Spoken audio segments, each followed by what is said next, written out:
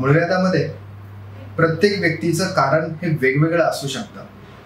मूळव्याध होण्यापाठीमागे अनेक कारणं आपल्याला दिसून येत असतात.